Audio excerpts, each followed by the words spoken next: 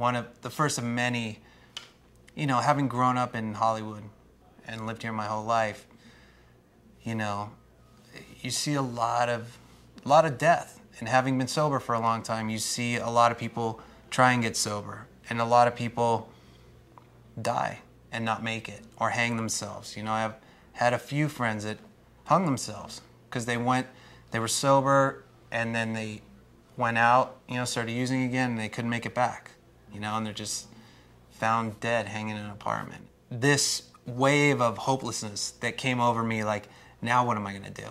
I have no idea how to deal with this problem. And then I was kind of depressed for a couple days, and then I just kept going for another, you know, two years, three years. But I remember that as being a very kind of the moment where I was like, I have a problem. I remember so clearly my last day of drinking and, you know, my hitting bottom, as they say. Um, then later I hear your bottom's where you stop digging, you know, and that you don't have to keep doing it. I was so hopeless. I wanted to shoot myself in the head, but I didn't have a gun. I didn't, you know, I, I probably wouldn't have done it if I could have. But the point is, is that I was so hopeless. And I remember feeling like I can't imagine living the rest of my life this way.